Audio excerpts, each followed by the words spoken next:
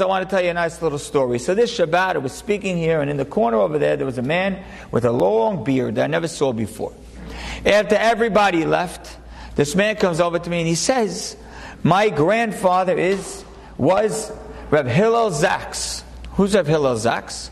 He is the grandson of the Hafetz Chaim. In essence, this man is the great great grandson of the Hafetz Chaim. I said, "Wow, you're the great great grandson of the Hafetz Chaim. That's so cool." Tell me some story about the Hafetz Chaim that I never heard before. We all know the famous ones. Tell me something about the Hafetz Chaim that I never heard before. He says, I'm going to tell you something. It's not a story, but. He says, and the truth is, what he told me, I was hesitant to say in a class. Because you have to appreciate it, but I hope we can explain it and frame it enough that you will appreciate it. He says, You want to hear something unique about the Hafetz Chaim? I said, What is it? He says the Chafetz Chaim did not wear tefillin every single day. I said, what? He says the Chafetz Chaim did not wear tefillin every single day.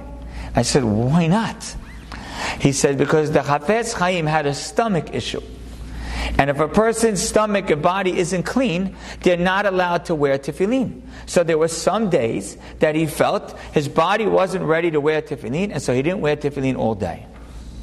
He says, What's the beauty of this?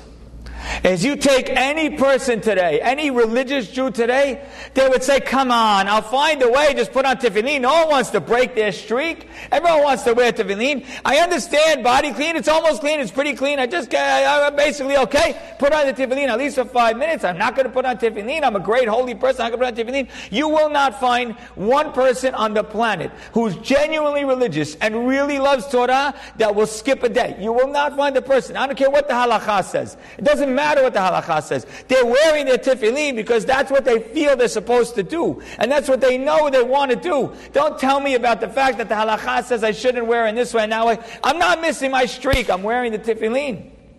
But the Chafetz Chaim, very simply, followed the halacha.